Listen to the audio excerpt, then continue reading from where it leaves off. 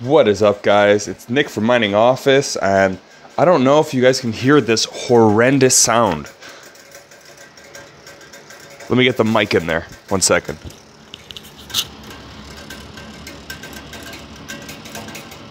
So, yeah, that seems to be the fan hitting on something in my power supply.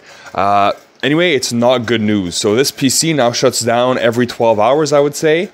Um, I'm betting my money on the power supply in there. And like I said, the sound is unbearable. It would always make sort of a whining and a slight, very, very slight ticking sound. But now it's just it's just gone crazy. So for any of those wondering, this is a EVGA 750BQ. I've had this for years now, but it should still be in warranty, so I'm gonna try and RMA it.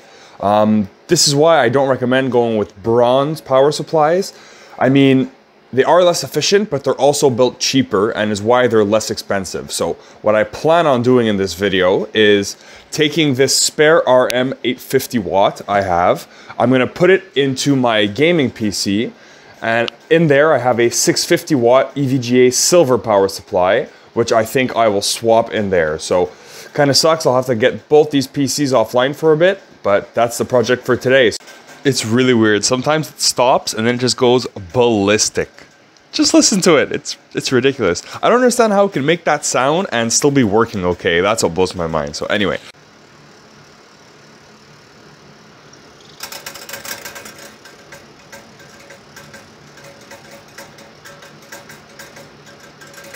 Sounds wonderful. Oh, and also while we're here, let's speak about this. These Zotac cards, okay, the Twin Edge OC ones, so this one and the other one I have in the rig, they also make squeaking sounds, and I know what it's from. I'll show you on this one, it's a bit easier.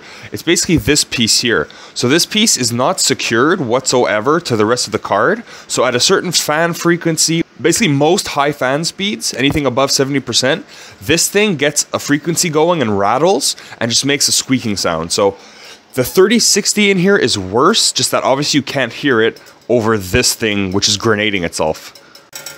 This is absolutely ridiculous. I'm, I'm turning the computer off before this thing blows up. All right, so a change of plans. I found the receipt for this, and it was purchased in 2019, so it's actually not as old as I thought it was. Um, so for it to go this early kind of sucks.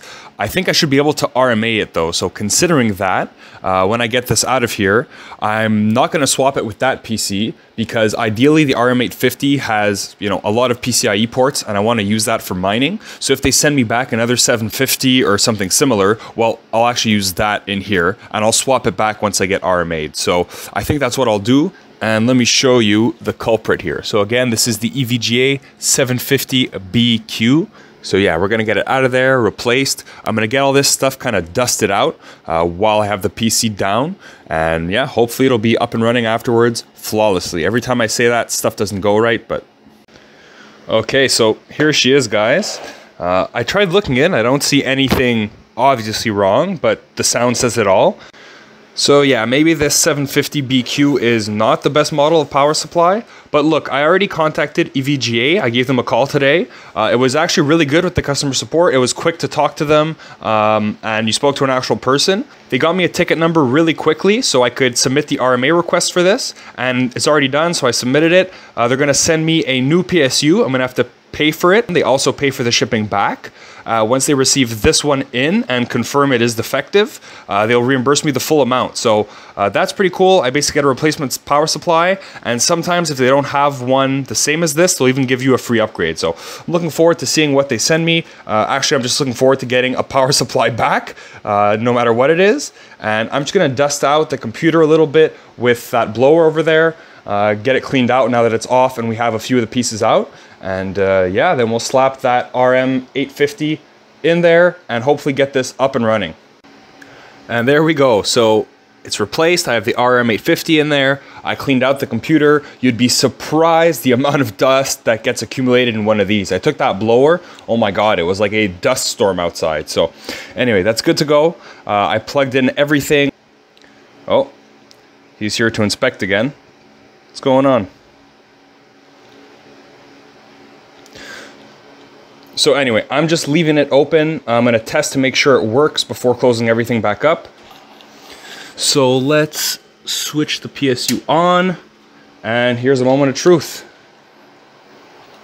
Okay, it's starting off well. Let's check both of our GPUs. Yep, they seem to be spinning. And there we go. So perfect, we're posting. Okay, now that everything's working, I'm good to close this back up like it was, put the front of the cover on and the back, which is, oh, there. Uh, you can see it's already a mess in here again. I just had the motherboard fail in this rig, got that fixed, and one week later, we're on to a PSU. So hopefully that should be it for hardware failures for the next good amount of time.